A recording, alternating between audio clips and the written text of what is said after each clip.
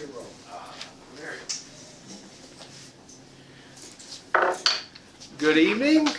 Welcome to Golden Speakers. I'm Emery Styron, Vice President of Education, filling in for President Dennis Comez, who's away tonight. We are the famous Golden Speakers Toastmasters Club, the envy of District 19, uh, the cream de la cream of Area Z, and uh, we meet here every Tuesday night at the end of the ice cream aisle in the Hy-Vee uh, club room. The mission of the club is to provide a mutually supportive and positive learning environment in which every member has the opportunity to develop oral communication and leadership skills, which in turn foster self-confidence and personal growth. Um, We'd like to welcome our new members, uh, Dee and Janet here tonight, and I see we have a guest. How you doing? Would you want to stand up, and just introduce yourself and tell us why you're here? My name is Dan Gorman, and um, I'm here to see Shipley do a presentation about sauerkraut because um, I run a sauerkraut company, and he's a big part of it. Okay, welcome. Thank you. I'm going to turn the meeting over to our Toastmaster, our Master of Ceremonies for tonight, Will Burns.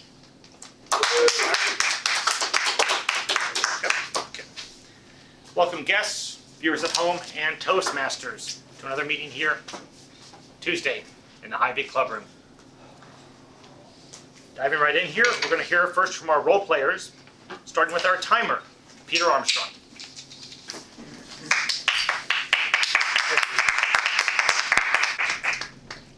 Mr. Toastmaster, honored members and guests. I'm the timer for this evening, and for the uh, various speeches, I will be turning on the green, yellow, and red lights. For Mr. Shipley's presentation, those times will be green, eight, eight minutes, yellow, 11 minutes, and red, 12 minutes. All speakers have 30 seconds after the red light goes on before they will be disqualified from being the best speaker in their category. Uh, For table topics, the times are green, one minute, yellow, one minute, 30 seconds, and red, two minutes. For going back into the scheduled speakers, um, for a standard speech, uh, Hudaifa will use five, six, and seven minutes respectively. At the end of the uh, meeting, I will give a report. Thank you. Thank you, Peter.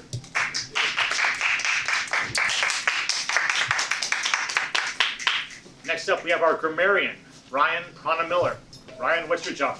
All right, I will be keeping track of any unusually uh, clever or noteworthy language, anything that sticks out as uh, colorful or uh, just uh, unusual. So, altruistic is the word of the day, showing a disinterested and selfless concern for well, I'm sorry, for the wellness of other humans. Uh, synonym is kind, and um, even though she didn't know the man who was homeless, she showed altruism by fill in the blank, you know. So yeah, that's it, altruism, and I will be uh, awarding members with uh, the most prestigious award at the end of the meeting if you use the word of the day the most.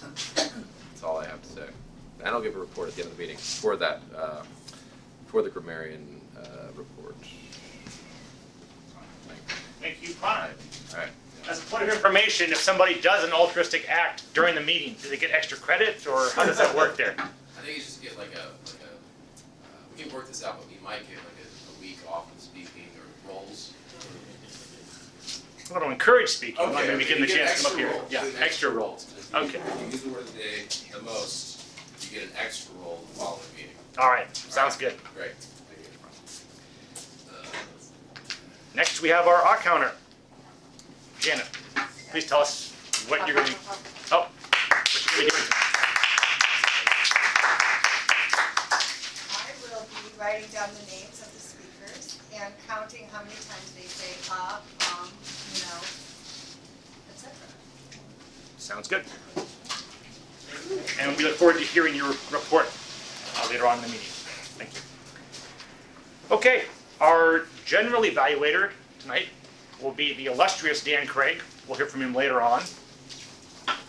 He is also our tireless altruistic videographer, He- and he does a great job at that as well. Finally, our greeter joke master is Miranda Goddard. But now let's move into the, the prepared speeches. And so now it is my distinct pleasure to call up Jeff Shipley's evaluator, who will be Jean Symington Craig. Jean, come on up here.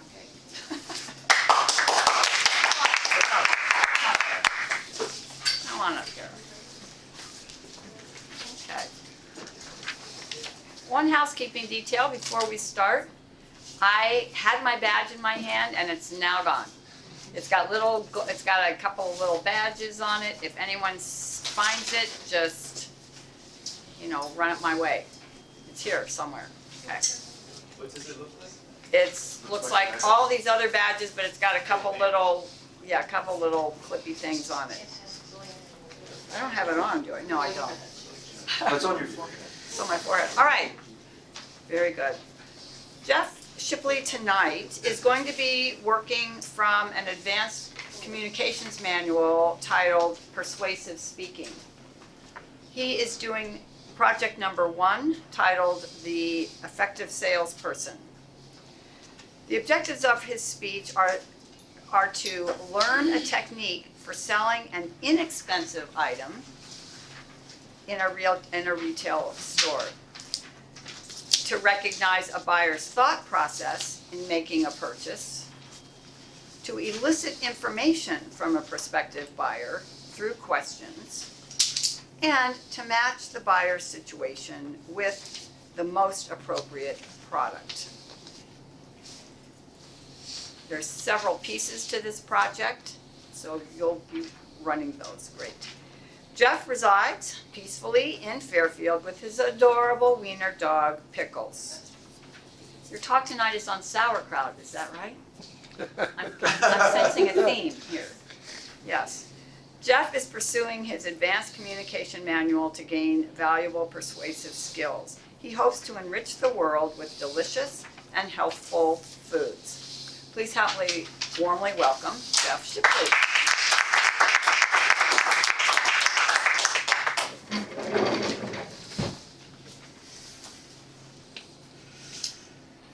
Fellow Toastmasters, honored guests, viewers at home. Hy-Vee is a beautiful place. It's brimming with aisles overflowing of quality goods and services and a helpful smile in every aisle. Hy-Vee is a flourishing company. It was built by effective salespeople. My project tonight is to explore the sales process, what makes a sale possible, what makes an effective salesperson, and then offer a demonstration and a brief discussion to that end. Really three things need to exist to make a sale possible. One, there has to be a need or a benefit. The buyer has to gain something, more or less, or else he wouldn't even be shopping, or there'd be no motivation to even have the discussion. Two, there has to be an element of trust that the product and then the salesperson will deliver as promised. For instance, if you're buying a car, you want to know the car is going to work, and you have to trust the salesperson. Has anyone ever met a salesperson they didn't like? Chances are you didn't trust that person, and almost certainly you didn't buy from them. So those are pretty straightforward. This last one is a little more interesting, but much more important. Is it's got to be a win-win. Both parties have to win. It has to be a mutually beneficial exchange the perceived benefit has to be greater than the purchase price. For instance, I bought a Caribou coffee. I valued the coffee more than I valued the $3.42. Conversely, Caribou valued the $3.42 more than they valued the coffee. That's why they gave it to me. We both won. Due to that transaction, the world is a richer place. A little bit of prosperity was created because it was a win-win. Our interests were aligned and we freely exchanged to both of our mutual benefits. All right, now let's talk about effective salespeople. What makes an effective salesperson? They're gonna be likable, and they gotta trust them, trustworthiness. What does that really mean? Well, they're gonna be focused on the buyer. They're gonna be listening. They're gonna be sincere. They're gonna be genuine. They're probably gonna be courteous. And a good listener, they're gonna ask the right questions.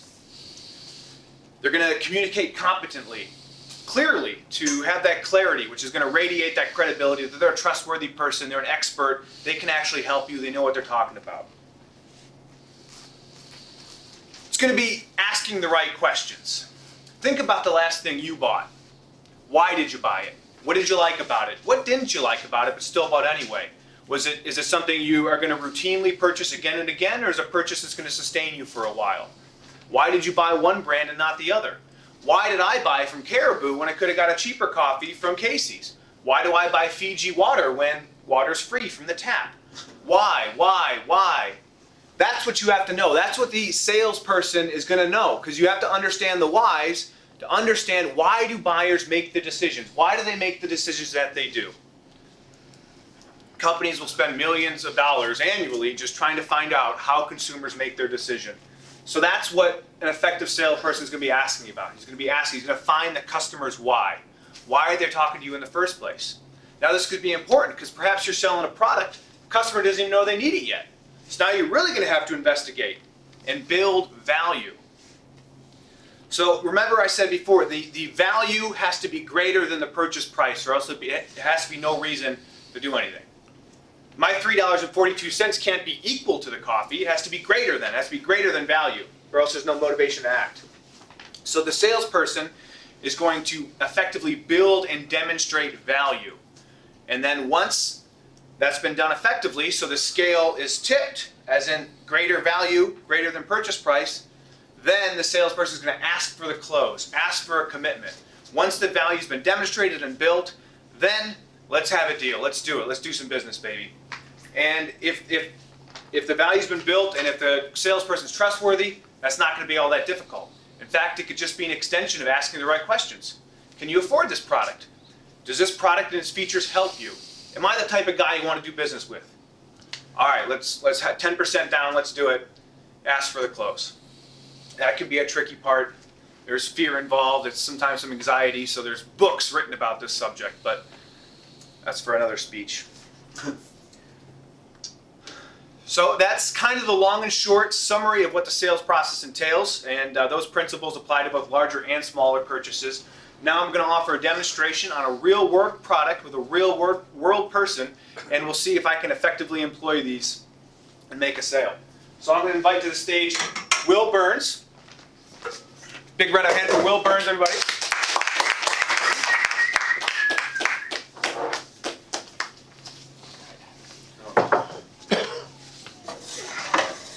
Hey, Will, great seeing you. Thank you. Glad to be here. Man, it- it's been a while since we since we last shared a meal together, but I remember you being a uh, someone who appreciates organic, local, handcrafted, quality gourmet foods. Is that correct? Yeah, I think that's true. Yeah. Yeah. Well, great, because it's been my lifelong dream to be a purveyor, purveyor of healthful and delicious foods, and this local Fairfield company, the Bubbling Brine Brothers, I want to introduce you to them. Um, so these are fermented vegetables, also known as like sauerkrauts or kimchi's. Okay. I like calling them sauerkraut. Are you familiar with sauerkraut? Just a little bit here, you know. I'm not. Now, is it true that uh, you said sauerkraut and kimchi they're the same? They're comparable? Well, it's, it's the idea. Uh, it's uh, you're, you're fermenting vegetables. Okay. So the kimchi would be more of the Asian variation or the Korean variation. Sauerkraut is a European thing. This is a very unique um, product because it really brings the best of the whole entire world together into one 12 ounce jar. So when's the last time you ate sauerkraut? You know, I think it's been a little while. Well, I mean, I you know I was thinking that I had it recently, but I actually was thinking of uh, of coleslaw. So I'm oh, totally so it's been a while. So you're not really a regular coleslaw eater, huh? I guess. Well, I you know not really. I'm concerned mostly. How many servings of vegetables you get a day? I try to eat. eat Would it be healthier if it was more? I think that's probably true. So this is um, we got a couple real great products here. This is the Vedic kraut. Okay. And you know, it is tangy, but what makes this special is it's got turmeric. You familiar with turmeric? I am. Yeah, it's a very healthful spice, has anti-aging, even say anti-cancer properties. Mhm. And uh, the really cool thing about kraut, before I get any further, is making sure we're this jar is alive. There's living organisms in here that are going to nourish you from the inside out.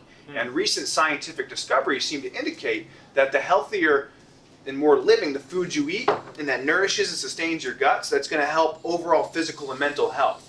Now, my claims have not been evaluated by the American Medical Association, but I'm pretty darn sure.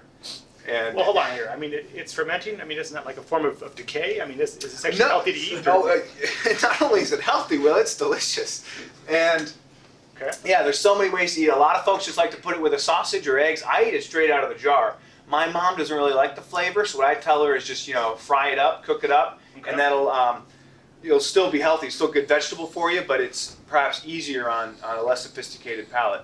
Not saying that your palate's less sophisticated, but um, yeah, so it's really healthy. It's it's and it's vegetables. It's you know zero carbs, all local, organic. It's a local business. I think it's delicious. You haven't tried any of these products before, I have not. haven't? Which one would you recommend for somebody starting out here? Just- Well, do you like it spicy? Now, I do for most people, but my wife's a Texan and she really likes spicy food. So I just have to be careful about, about spice. Well, this is uh, this is this purple kraut, or also known as spicy perp. It's got the garlic in there, so it's got that garlic bite. Garlic's also a very healthful, um, you know, bulb type thing. Supposedly, it's got anti. Uh, you know, what are they, people say garlic's good for you. You know, they say that. Well, is it true or do, Yeah, I think so. I mean, Well, it doesn't matter if it's true or not. What matters is it tastes good. and, and that I can assure you. Um, yeah, so, so these retail for $7.99. I think each one has very potent, healthful uh, properties. And given the healthcare crisis in this country, you know what they say that um, they say an ounce of prevention is worth a pound of cure. Mhm. So given that there's 28 ounces in a pound, I can calculate that this jar of kraut here represents $223.72 of saved medical expenses down the road, is uh, how, how I calculate that. So it's really Yeah. not only an investment in your in your meal and your lunchtime and your dinner, but it's a meal in, in these long-term dividends for a healthier, healthier, happier you. well, it sounds like more of a statement about the spiraling healthcare costs in, in this country. Well, but, that, that's a good point, Will. You know, we agree But- on that. but um, you know, I can get a lot of eggs for, you know, seven ninety nine. That's how much? I mean, how long would this last me here? Oh, this this gets better with age. It's like a fine wine. Okay. Like this is a this is a 2017 jar, Okay. so it's only getting better with age. And So yeah, like, I mean, ex- worst, worst comes to worst, you know, there's another catastrophe, zombie apocalypse. I can actually store this stuff. Is that right? It'll keep for a while? Absolutely, yeah. That's okay. that's uh, uh, a a underspoken feature. We don't mention that enough because we like to focus on the positive of, of the of everything working out okay. Uh-huh. But uh, yeah, for your for for the Or you know, say hurricane, you know, like like or Oh, snowstorm. absolutely, right. I can't go to the store.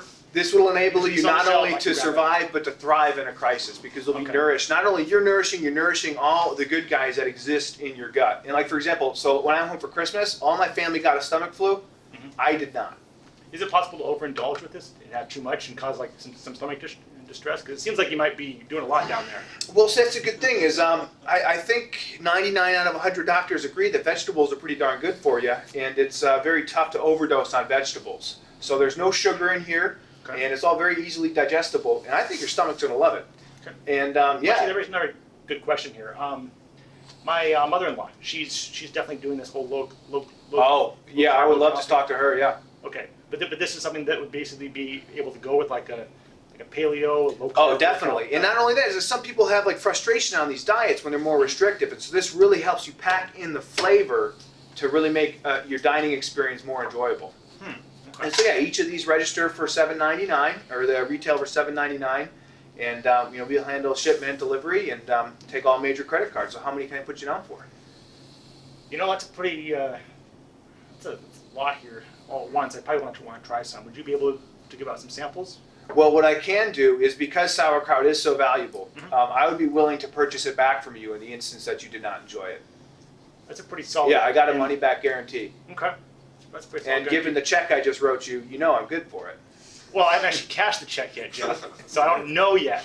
But if I was to cash the check and realize it went through, then yes, I could probably trust you. I do have the overdraft protection in my U.S. bank account, so um, pending financial catastrophe, you're Okay. in good hands. Let me ask you this question: Which one You, you mentioned several different ones here. This one's kind of spicy. This one has a little bit of turmeric. Yeah, I didn't mention the Curtido, which is actually our best seller. This would be a really good one because it has the perfect combination of spice and savory. It's actually an El Salvadoran uh, fermented food blend. So again, I've mentioned how we just get the best that world culture has to offer and put it in this 12 ounce jar. And so Curtido is real popular. I think you'd really enjoy that one. Mhm. And I think with Valentine's Day coming up, if you want to put a smile on your wife's face. Okay, that's, that's pretty interesting.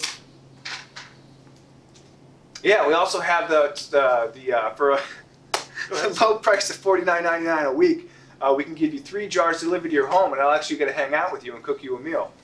So that's a pretty good meal too. Good deal too. That's a, yeah, that's, that's, And we can have this conversation week after week. you know, I might want to mix it up a little bit, but, but I definitely appreciate seeing you, Jeff. It's always a, always a pleasure Yeah. to see you. I think I might have to actually go with the, uh, you know what? I'll be honest, you have me curious here about this. You've had a great week at work, Will. I think you Yeah. can afford all three.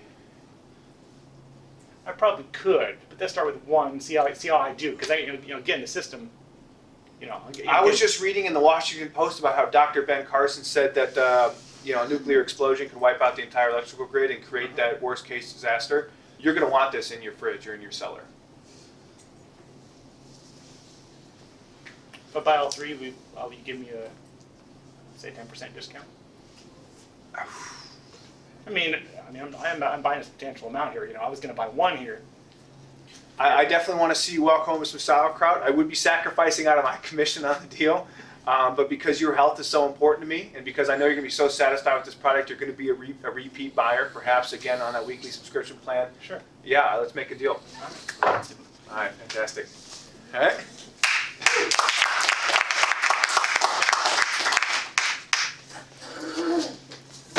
was that? Did we do all right? All right, so again, we just live in such a beautiful world, and um, I suggest we all just express our gratitude rightfully and properly and go down to the fresh food. I think it's aisle three there and uh, buy as many jars of sauerkraut as you can. They're running low and they're going to move fast, so I recommend you do it immediately. Mr. Toastmaster.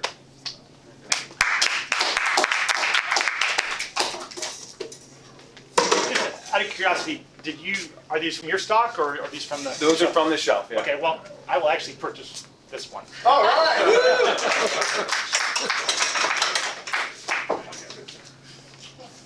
Because again, I am concerned about my health. I am curious.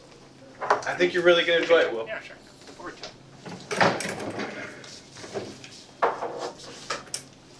This is the downside of volunteering to be Jeff's guinea pig during a sales pitch. He's a very, I don't know, you just, something about the guy just makes you want to trust him and, and buy things from him. So, go figure. Uh, let's take two minutes to evaluate Jeff's speech. Welcome back. And now for our second speech of the evening, it's my pleasure to call up Hudaifa, who will be reading the objectives for Fraser's speech. Hudaifa.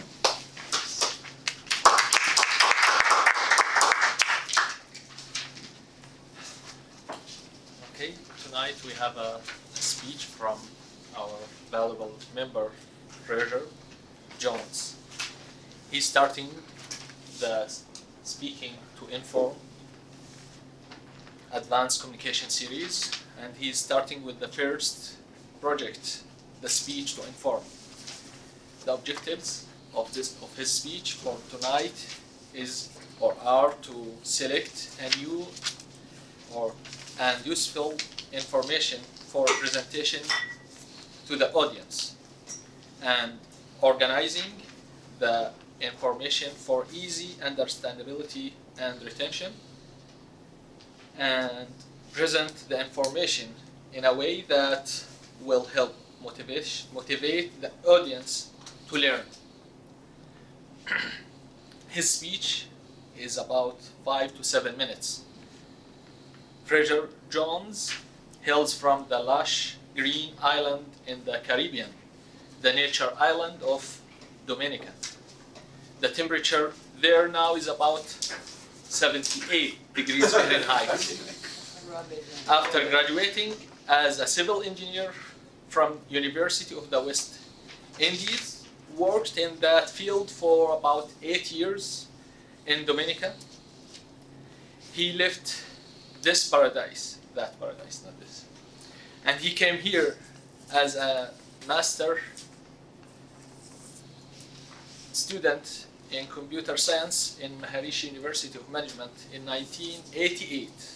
Fraser has been in Fairfield since, though at times, like this morning, with the temperature at minus 4 degrees Fahrenheit, he questions that decision. Tonight, his speech is the most important Toastmaster officer. Please welcome Fraser John for his speech tonight.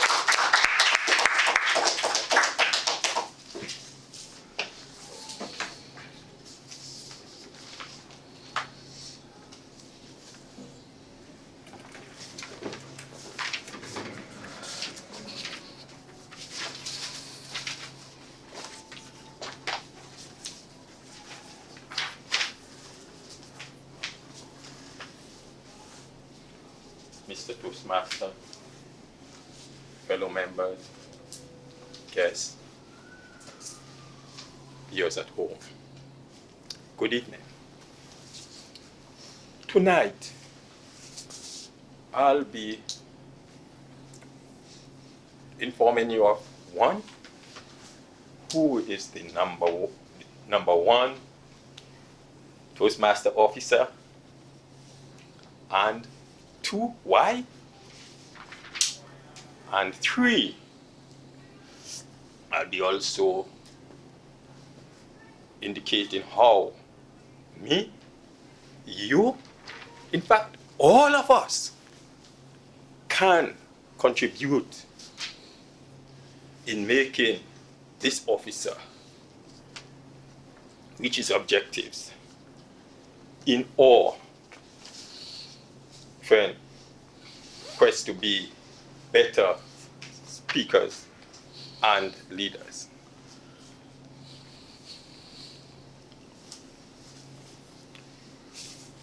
Look at the agenda. You see the, you'll see the list of officers up there. Who do you think is the number one? Is it the president? That's what I had thought until about a month ago when I went to officers training. Paul Wood, our area director, carried out this training. He has decades of Toastmaster experience. So I was surprised of what he said. You were there. I was there. It was a great morning. I thought I thought all the I thought all the officers uh, were equally important, but some were more important than others. But who did he say was the most important? He said that the most important officer is the uh, wasn't the, wasn't the president. It wasn't the treasurer. It wasn't the um, secretary. It- Hey, Who does that leave? Just- VP, VP of membership. no, he actually said it was the sergeant at arms. Sergeant of arms. That's right. I do it. I was dumbfounded because I chose sergeant at arms because I thought it was the least important officer. Just being in charge of the physical, the physical inventory, you know, setting up things, you know, dealing with inanimate things. But Paul, he turned everything upside down for me. He said, the sergeant at arms is the number one officer because he creates an environment which is pleasing, comfortable, so that all we members can perform smoothly and meet goals. From the first impression when a member walked through the door to the last impression when the wa- member walked out. That officer, the sergeant at arms, have to maintain that ambience. Talking about first impressions. Never, never, never underestimate first impression. Three researchers, one from Carnegie Mellon and two from Turkish universities, they did a simple experiment. They showed portrait styles, photo, photos to some test subjects. And they showed the, the photos had sometimes one, the person was smiling, and the other, they had a neutral face. Each test, test subject was only shown one photo. A month later, the board, the test subject and the, oh, sorry. After they saw the photo, they wrote down their impression in our, our questionnaire. So a month later, they brought the test subjects and the person in the photo together. The test subject had no idea who the person was. because, I mean, you just see a photo one. They had face-to-face activity for about 20 minutes.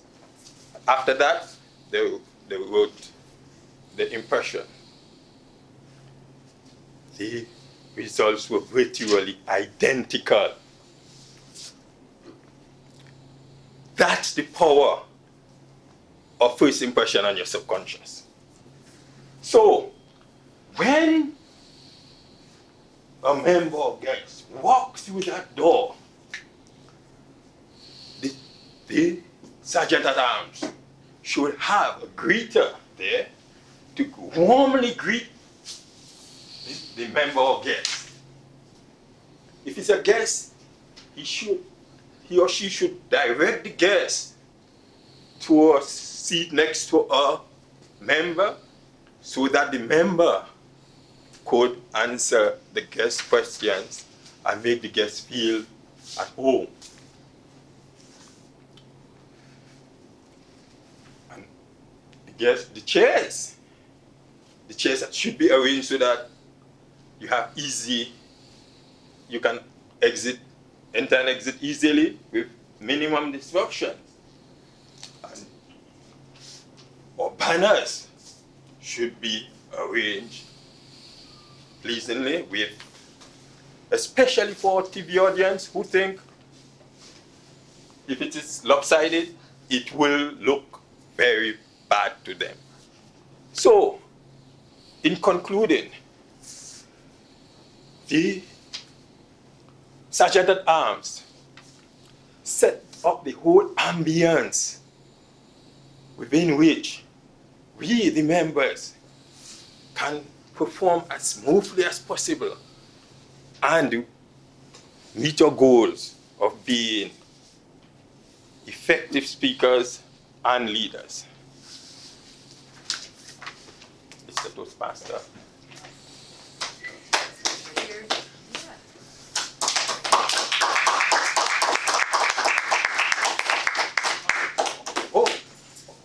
So, so, Just call me up when you're ready. Okay, yeah.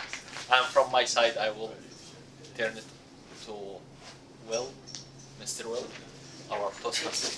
Thank you.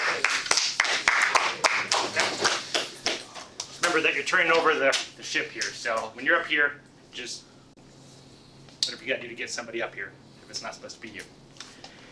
Okay, take two minutes. Please evaluate Fraser's speech. Be going into our our evaluation section here in just a minute, but first, Mr. Timer, did both of our speakers qualify tonight? Mr. Toastmaster, I regret to say that either one of our speakers qualified. The first speaker asked for the close at the 11-minute mark, but uh, it took until thirteen minutes and change to actually close the sale. I guess in some ways I should feel good that I'm sort of a tough customer in that sense, but thank you. That is unfortunate. So we can save on voting, if there's a silver lining, that's, that's it. And now it's my pleasure to call up our general evaluator, Dan Craig, to run this part of the meeting. I can watch your, ca- I can do the camera. Okay,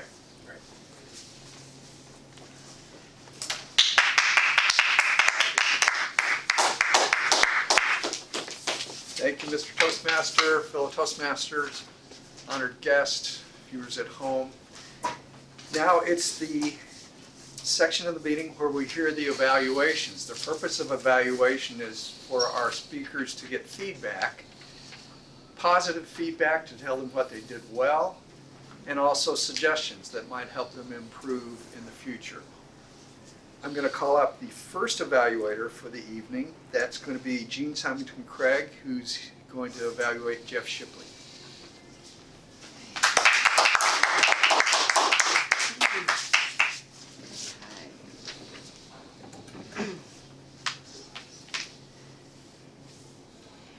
Fellow Toastmasters, guests, you had a guest, your friend, viewers at home, and particularly Jeff. Jeff is an experienced Toastmaster, very glib and able to communicate effectively. I thought he did a great job on this project, but I want to focus in on some things that I felt he could do better, and particularly if he's selling sauerkraut in the future or anything else that he's putting his attention on. Because this is a very important project for sales. How well did the speaker explain the persuasive process used in retail sales of expensive items? The project gives a number of points, a number of different uh, ways to go about this. Jeff did meet many of those points and describe them well. In my opinion, he didn't quite get as much about the buyer's need and solution to those needs explained, which I think played out later in his role play. So that's the, one of the overarching themes there that I'm going to mention for suggestions. Was the speaker able to build rapport with the buyer? Yes, although it was obvious that Will was being treated as an already as an already friend. He wasn't a stranger. So it could be the dynamic would be different if you did not know the person in terms of having to build that rapport from that point. How effective were the questions the speaker asked? How did the speaker use follow-up questions to elicit more information? So this again would be my suggestion, would be that I didn't see that the buyer's need was firmly established in the buyer's mind before the product was presented.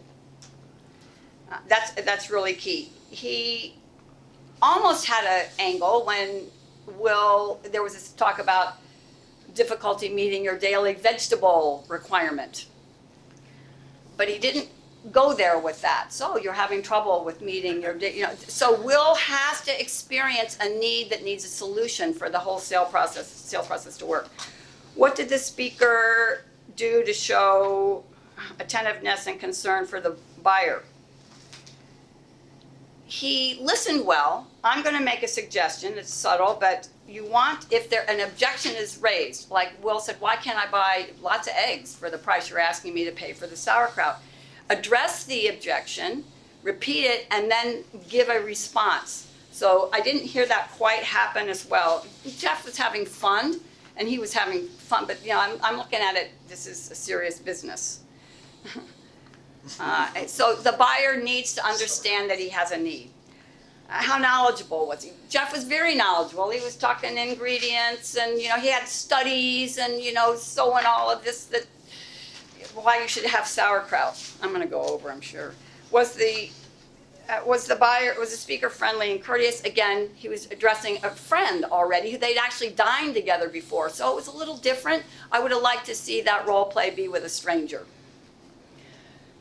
Will is heading in that direction as a strange guy. No, I'm just kidding. But, all right, so. Uh, how, how effective, how effective were the uh, speaker's efforts to obtain commitment? I felt he went for the close again, quickly, too quickly, given the buyer's lack of acknowledgement that he had a need. And in fact, the buyer is trying to get, a- almost get away. And Jeff was not, so it's, again, I felt the whole range needed to go much more on the buyer.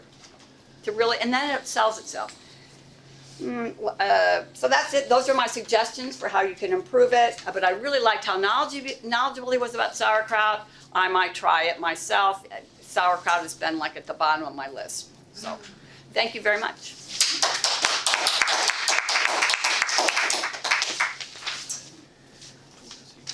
Now it's time for our second evaluator. That's going to be Hudaifa, who's going to evaluate Fraser.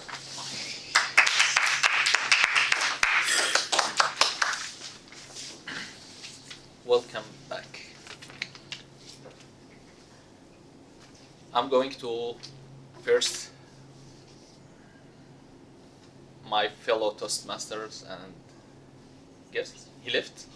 Okay, viewers at home. I'm going to follow the manual in order to evaluate his speech. Again, I would like to remind you about the objectives is to select new and useful information for presentation to the audience, organize the information for easy understandability and retention, and present the information in a way that will help motivate the audience to learn. What made his speech interesting? I think speaking about a topic related to Toastmasters and one of the for me unknown role and maybe for many people also. Also the point of showing that the president role may not be the most important role. How effectively, effectively the, did the speech opening capture and hold your attention his opening when he first talked about a speech he has or a uh, class he has attended last month and when he shown the, the role before he talked about it's his role how comfortable and familiar did the speaker appear to be with his material. It's clear he was prepared, I mean the speech. He used the statistics, he used an expert opinion, and also he used a visual aid, I think, picture. What was the organizational structure of his speech? I think it's function. He has uh, explained the roles, steps, or functions. How did the speaker encourage the audience to learn? I think two points. First thing is when he communicated directly with the audience and asked one of them. And the second thing, when he talked about love your what you work or what you do to do what you love how effectively, effectively did the speaker relate new information to the common experience and knowledge of the audience? Yeah, when he talked about his role, I thought that I didn't know that it, part of his role when I thought that just because he comes early every time. What could the speaker have done to make the talk more effective? I think if he just make points, clear points, three points or not just statements or paragraphs. And if he used the stage with these points will be more clear for everyone. And finally, what would you say is the speaker's strongest assist in, in informative speaking? I think that his introduction about how, how interested is his role. Mr. General Evaluator.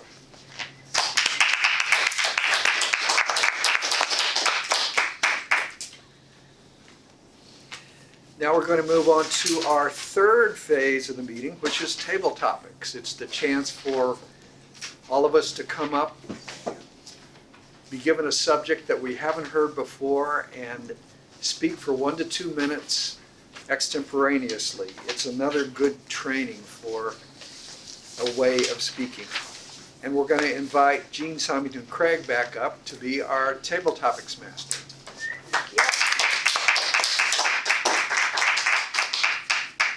All right. I noticed that the topic tonight was fact or fiction. I'd already decided that I wanted to use the table topics questions that I was a table topics master for on Saturday at Fort Madison. I thought, great, I have all these topics all ready to go. And then I thought, I don't know if they're gonna match the topic of the meeting, but it kind of does. Okay, you'll see. I'm gonna try to sell it. I'm gonna sell it.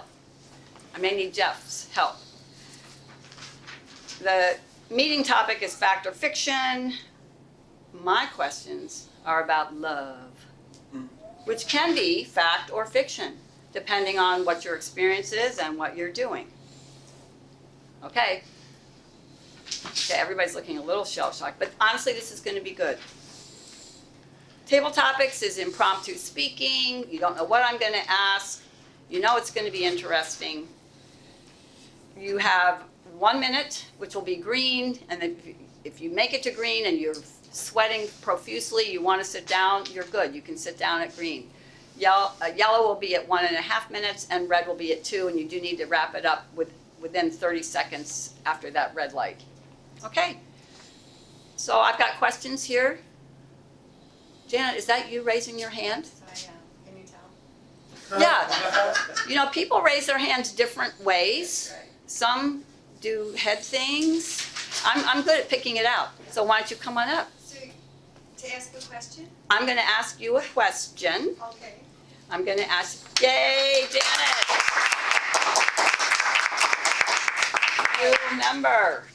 Okay, I know my hand is cold. I know. We could just stand here, you could talk, and I'll hold hands. All right, great. Cooling me off. Yeah, yeah. Okay, so I'm just gonna give you a question, and you have up to thirty seconds to organize it Mm-hmm. in your mind. You don't have to blurt right out. You have to try to I was having a question to you though, that doesn't matter. I didn't know what you're saying the table topic is. Yeah, so this is, this Love is what it, this is Fact what, or fiction or what? well, the theme is gonna be love. It's gonna be questions on love. And the exercise is to practice getting a topic or a question that you have, you don't know in advance, because that's what happens in life all the time. People ask you something. Uh-huh. and then come up with an a- answer that's coherent. Okay. Okay, if you faint and we need to take you back, we'll You'll do uh, that. catch me, okay. Yeah, okay. So keep an eye on the lights. Oh, All right, okay. so let me, I'm just gonna let you pick a number from one to seven. Four. Okay. All right. What is a very important characteristic that you want someone to have in order for you to love that person? Thank you very much. Okay. Okay. Fellow Toastmasters, I'd like to talk about the most important characteristic for someone for me to love. They would have to be a compassionate person and I'm doubting that they really have to be aware. They don't have to be aware. It would be nice, but could let that slide. Uh, let's see. It's not really that difficult because everybody has great characteristics and is so unique that it's easy to love them for who they are and what they're bringing forth to the table. It's always interesting and completely amazing and varied. So I actually don't find it that difficult to find something to love in a person, even if they are an annoying person. they still have good qualities and aspects that I can see. So thank you very much. Oh, Or we let yes, I somebody gotta go. remember that. Yeah, Thank yeah, you. perfect. Okay. All right, first table topics. Woo! Okay, very good. All righty, who would like to come up next? D, All right, D, don't, don't try to come here, this is the dead zone for the camera. So here we go. Oh, yeah, it's always gonna be Okay, different, because right. you've heard the last one. Yeah, That would be t- too much preparation, okay. okay? So good, thank you for coming up. Now, Sure. so you get to pick uh, between one to seven, but not four, Five. okay? How has your idea of love changed from when you were younger to who you are now? Well, I guess when I, Wait, was- wait. oh, okay. I just know, before you, ha- you do Oh, have I- up to thirty seconds to think a little bit before you take off. Because a lot of times people feel like they just have to spit something out or they look like they're stupid or something. And that's not how it works, okay? So I'm just giving, I know D, so I'm just giving them a little extra, you know, break there, okay? So there yeah, you yeah. go. Do you remember the question? What, what is, say it again? Okay, good, see, that's what happens. Yeah, I know, I forgot. So, no, Love. here we go. How has your idea of love changed Right, right, from when you were younger to who you are now? Take it away. Well, I remember when I was a little child, we always had ca- cats and dogs. We had two cats and two dogs. We had indoor dogs, outdoor dogs, indoor cats, outdoor cats. And so uh, we had a pet dachshund as a, as a child, little wiener dog. Everybody knows what a wiener dog is? Uh, his name was Helga, by the way. We named it after, you know, where wiener dogs or dachshunds come from. So the dog always slept in bed with me, right? How many people have had dogs that sleep in bed with you, right? Um, and the, one of the things that was nice about the dog was he'd always keep my feet warm. And um, the dog um, would just be nuts and crazy all the time, you know, running around. You know how wiener dogs are. The one thing we did with our dog was taught it. How many people had a wiener dog or a Yeah. dachshund? Yeah, yeah. Do you ever have your dog just set up and go like this on its right? So, you know, we'd hold out food for it, and it would grab the food and bring it back. Um, and when I was in high school, my um, high school graduation actually, um, I was up all night. How many people were up all night in your high school graduation? How many people were drunk? right? Right. So my my best friend who lived across the street didn't know that I slept with my dog. So it's like uh, probably maybe two o'clock in the afternoon, because I didn't go to bed till four or five in the morning. So they came over there, woke me up, and there's this dog in bed with me. So you know they thought I was a little bit crazy or weird about that. Um, unfortunately, uh, how many people had wiener dogs? Yeah. So we'd always teach the dog to sit up on its hind end like this and beg for food. And what happened, you should, if you ever get a, another dachshund or a wiener dog, don't ever do that to them because it really hurts their back. And so unfortunately, when the dog got older, it had just to crawl around on two legs and drag its rear end behind you, and I really felt bad about that. Time?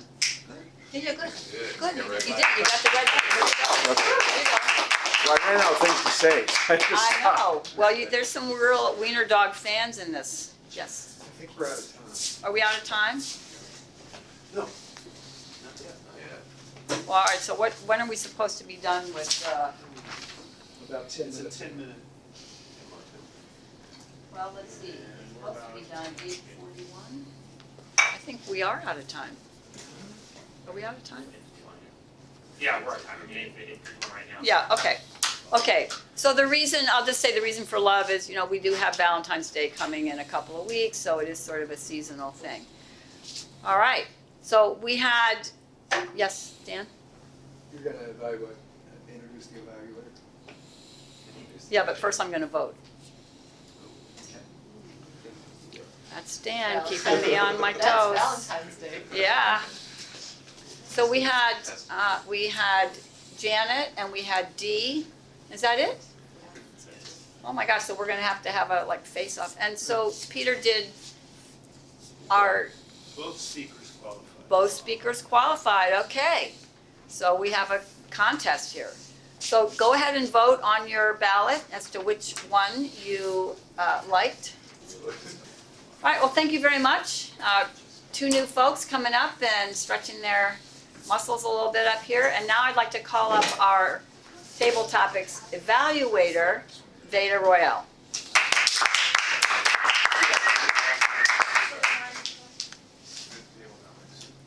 Thank you, Janet. Uh, Madam General Evaluator, fellow Toastmasters, guests that have left, and viewers at home. Our, I will give a very brief evaluation of our table topics speeches tonight. We had two new, two new and excellent table topic speakers. Considering that they are brand new at this, they did a wonderful job, both of them. They, most importantly, did not look weird. They did not do strange things. They gave us an honest and forthright op- opinion, and they did a great job overall. Just to give specific comments, Janet's speech was very brief. And just to be aware of your hands in your pockets. But other than that, it was a great speech. Dee had a very entertaining speech. He had very advanced uh, characteristics. He did a lot of great vocal variety, a lot of great gestures. It was really entertaining. And for the number one time you've done it, I don't think I could give any uh, criticism of that. Mabel, any criticism of that, Madam General Evaluator?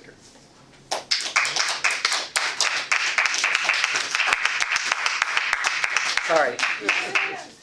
It's easy to mix us up. It is?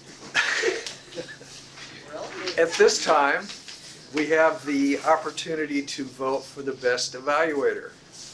Mr. Timer, could you tell us which of our evaluators qualifies? Um, does- Does it qualify if the evaluator is under time? You can be 30 seconds under, so you could be 1 minute 30. One of our evaluators, our evaluators, I should say, gave very, how do we say, detailed and comprehensive evaluations. And as a result, only one of them was able to qualify tonight, All right. and that was Veda. Okay. We don't need to vote. I suspect I know who's going to be the winner. We'll hold that for later. At this time, it's time for our reports from our role players. First, we're going to get the official report from the timer. Peter, please give us your report of the times.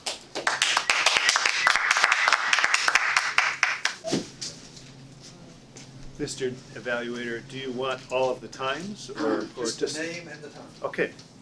Jeff Shipley, thirteen forty-four into a twelve-minute speech. Hudaifa, seven fifty-five. Janet, one minute, seven seconds.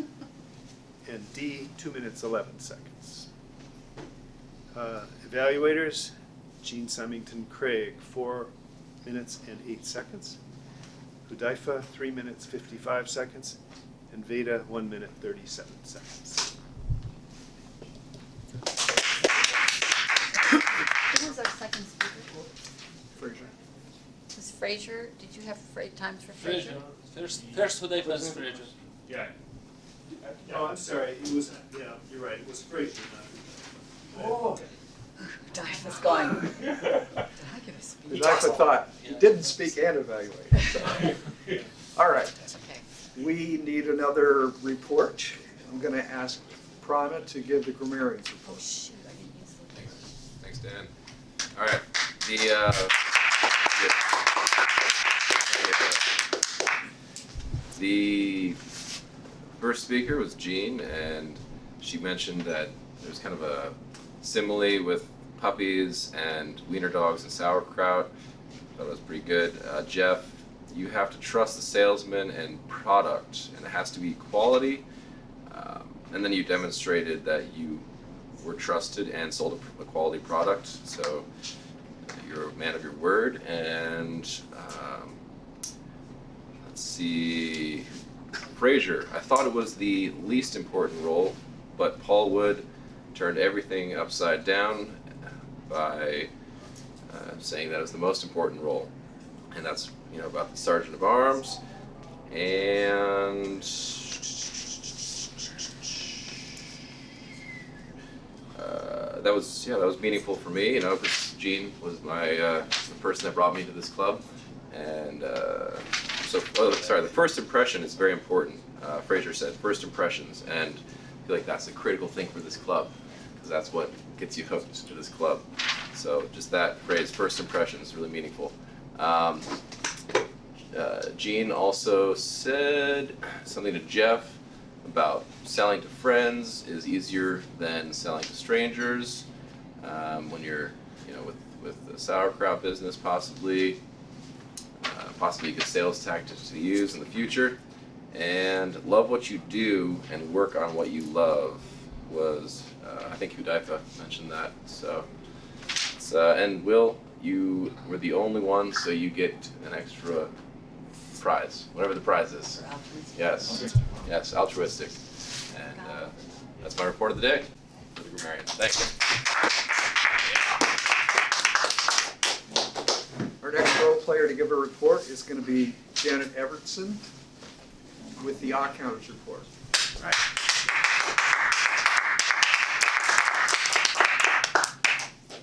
Okay, with Emery, Will, and Jean, I didn't catch anything. I thought they were perfect, but I probably just hadn't focused in yet. No, we were for. Oh, okay. I wasn't, I wasn't. I was really thinking more of the uhs and the ums and the likes and you knows. But I didn't know about the so. I mean, those are part of a sentence. So I'm learning. See, I used it and I, I feel I will use that a lot. okay. So Jeff, I started paying attention and he had four uhs, four ums, two likes, five you knows, six so's, four buts, and seven ands. However, they were seamless to me. I, they seemed to fit in. So Will had three uhs, one um, one you know. Hudaifa, I didn't notice anything wrong. Frazier, one so, one but, three ands. Will, didn't notice. Jean, one like, four so's, one but, one and. Hudaifa, again, perfect. Dan, one and. Jan had two uhs. Dee had one like, four you knows, two so's. And that's us. Good job.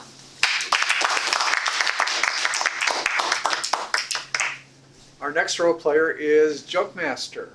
Is Miranda going to give us a joke? Yeah. Here she is.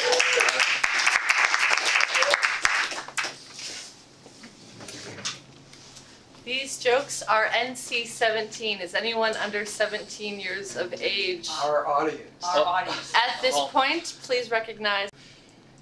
How does anyone tell a joke on YouTube? They don't.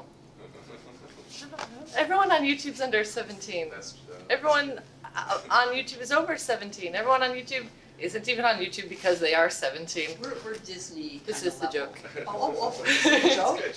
Oh. No, because think about it. Everyone who is 17, they don't even use YouTube anymore. Why? They've got Pandora. They've got Spotify. Alexa, play my.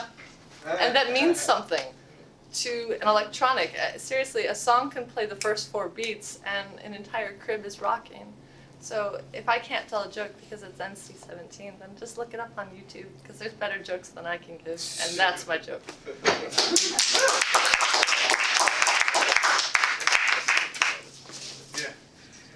All right, I'm going to give a brief evaluation of the evaluators for my general evaluator report. Our first evaluator was Jean, who is giving an evaluation of Jeff.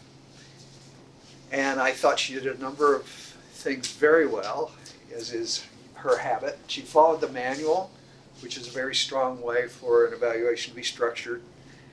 She had good suggestions for Jeff about making sure that the, the need was firmly established.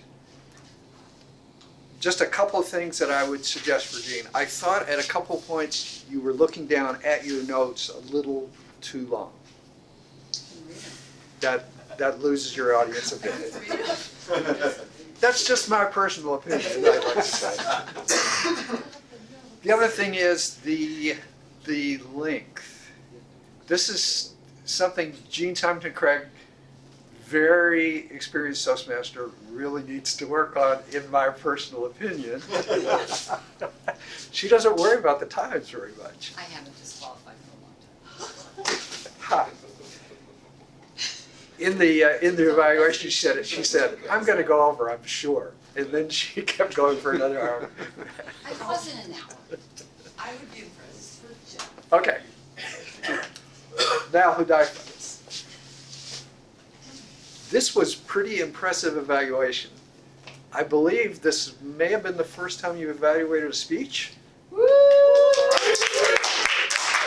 not only that, he didn't get just uh, one of the 10 projects from the CC manual, he evaluated an advanced project. That's really quite impressive. Very, very good. Did a lot of things very well. He reminded us very clearly of the objectives. He worked through the manual objectives to give feedback to Fraser in his speech. I thought it was very clear. It showed he had listened very well. And he had a very good suggestion about being clear about your three points and, and staging them across, across the front. The main suggestion that I've got for you is just to watch the time. Perhaps somebody has modeled for you something that's not that. But strive for that three minutes and 29 seconds. It's very important. And if you were to compete at some point in a contest, and maybe you should, because you're obviously a good evaluator, you really got to hit the time, or it's not even worth showing up. And then finally, we had Veda, who was evaluating our two table topic speakers. I thought it was very cool. Our two brand new members were our two speakers tonight. And Veda gave us a good balance between appreciation and feedback in, in the one case. I think he gave one of the speakers feedback, but uh, the other said you had to say, you did so many things well, and I couldn't think of anything to tell you. And I'm not going to try to come up with a specific suggestion for D, but the suggestion for you is just going to be, if you can't think of uh, something that they needed to improve, just try for something they maybe could have done different. Because the point of evaluation suggestions is for somebody to improve, somebody to grow. If you can give them something that they didn't do uh, when they presented, then maybe that will help them in the future. But very nice job. And that is it for me as general evaluator. I'm going to swap places with our Toastmaster, Will Burns. Please welcome up Will.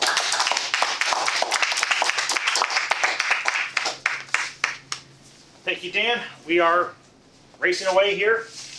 The hour is getting late. But that doesn't mean that we're going to miss our, our awards here. For, for Best Evaluator, Veda. Good job, sir. Best Speaker. That was nobody. Thought somebody did, but sadly not the case. Sorry to hear that. Um, best table topics was Janet.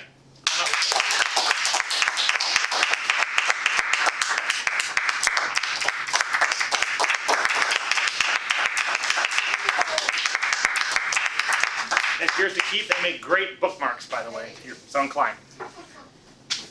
And now it's our pleasure to call up our president pro tem, Emery Styron. Thank you, and Will, do not leave. Be right back. Yeah, I'll be right A joke? No, we've done that. We've done that. No, uh, Will, as uh, Vice President of Membership, had asked me to set aside a little time tonight for him to uh, introduce and induct our new two new members. So as soon as he gets his stuff in order, he'll be back to do that. Thank you. All right, thank you, Emery. It only hurts a little. Just a slight bit. It'll be all right. We all went through it, I think. It's been a long time for me since I did this. First off, may the most important officer of the meeting please escort our two respected members out of the room, please. I, point of order, Yes. I've never been inducted. Oh, good. But I was Let's get- previously inducted. Let's get three. It's been Yeah. so, it was So so long. ancient. though. So long. Anyway, We'll see you it's soon. fun, it's fun, right? It's fun. Yep. We should give free ice cream while they're out. Sauerkraut, sauerkraut. You can browse. You can graze. Cultured ice cream. Culture. Yeah. Sauerkraut. Okay. Okay. Okay, we have before us three members looking to be- become members of Golden Speakers Toastmasters. I'll start with, after much excitement and gnashing of teeth, we're all happy to welcome you into Golden Speakers. Now, let me tell you here, membership in Toastmasters is a privilege, and the only way to gain the benefits of our program is to actively participate. Do each of you promise to be active members of this club, to attend meetings regularly, and prepare fully for your duties? Do you also I do. Promise? You do. Good. I do. Do you also? Is our Bible handy? Next time we'll have a, we'll have a uh, suitable thing to swear on. Do you also promise to fill the other? Do you also promise to fill the other points in the Toastmasters promise, which you should have in your manual? I just don't remember what they are. That's right. You'll s- yeah, you'll see them soon. Okay. Do you all? Do you all basically want to? Do you all promise to be active members of the club, to attend meetings regularly, and prepare fully for your duties? I just need Fraser to call me Until I every week to quit, remind me yes. to come. It's an important Yes, and job. Veda needs to keep, keep texting. Keep texting me. Okay, let's see. You guys have it all worked out then. That's that's good. Do you, the members of Golden Speakers Toastmasters, promise to support each of, of these new members as they work through the program? Sure do. Yes. You do. Awesome. Now it's my pleasure to announce each of you installed as members of Golden Speakers Toastmasters.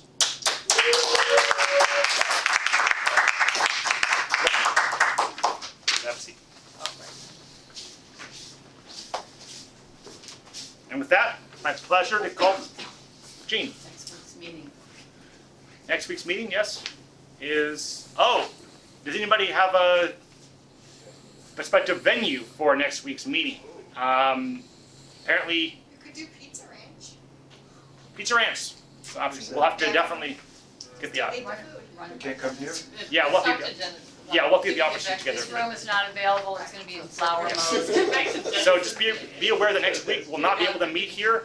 We'll be, we will send out an email, get kind of plans about a, a venue, like we have some ideas there from the floor. We'll get that worked out and we will send out an email about where we are meeting next week. That's just next week Just next week, yep. only. Rest of the time, yeah, only because it's Valentine's Day, there's, this whole room is filled with flowers and it's beautiful. It moves me to tears when I see it, but it's, it doesn't work for Toastmasters. Ideal energy would be, I'd move to vote ideal energy would be ideal. We'll, we'll, we'll explore that option. I don't wanna, since Dennis isn't here, I really can't speak for him on that, but it was a nice location when we did use it.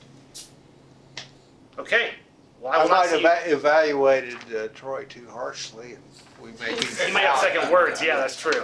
Um, well, I will see you all next week, probably not here, but I will see you somewhere next week and we'll be in touch. We don't know where yet. Not where, not, not yet, but we'll, you know. There was an item in the emails about people signing cards and so Almost. forth. Yes, I have a card to sign at the end here. Oh yeah, just stick around for, for a few minutes here. I have a card to sign for, for Troy. And yes, sir. I, I have a, our speaking schedule, we are full through February. We have one opening in March. Well, we have more than one opening in March. And, and, uh, April and May are now open for booking. You're welcome to see me briefly after the meeting. You're welcome to log on to Go, uh, Easy Speak and, and book it that way. And I will say that with, that our speakers, both Frazier and Hudaifa, logged into Easy Speak, put their speech titles uh, and projects in there, and it was wonderful to see. So, uh, uh, anybody having trouble with Easy Speak, please give me a call. Thank you. Okay, with that, have a good night.